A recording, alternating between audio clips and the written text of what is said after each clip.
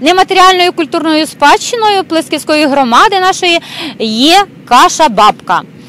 Це бренд нашої, бренд нашої громади. Ми взяли участь у проєкті «Га- Гастроспадщина України. І також внесли в першу українську енциклопедію Гастроспадщина Україну рецепт нашої каші бабка. Це традиційна, е, традиційна страва нашої громади.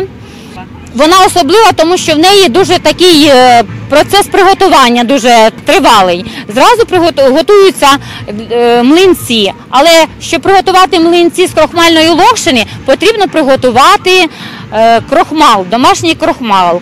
На домашньому крохмалі вони надзвичайно смачні.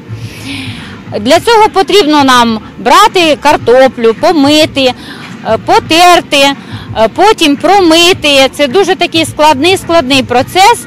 Потім це е, період п'яти днів відбувається. Потім ми ложимо рушнички полотняні, вони забирають влагу, потім їх ложками вишкрябуємо, воно висушується цей крохмал. Бажано висушувати на сонці цей крохмал, тому що як ми сушимо десь в духовках чи що, він взагалі буде не такий.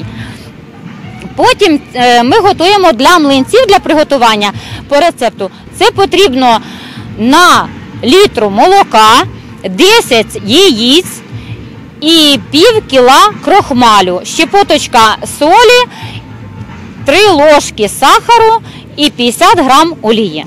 Коли ми приготували вже млинці, напекли млинців, то ми готуємо далі, збиваємо яйця, це також там 5 яєць, молока додаємо і цукру, і тоді аж кашу бабку запікаємо.